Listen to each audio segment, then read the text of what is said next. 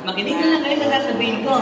Umarap ka ng pangit at ibigay mong tunay. Yan ang dapat mong gawin. Kaya makinig ka sa akin, and it was a little something.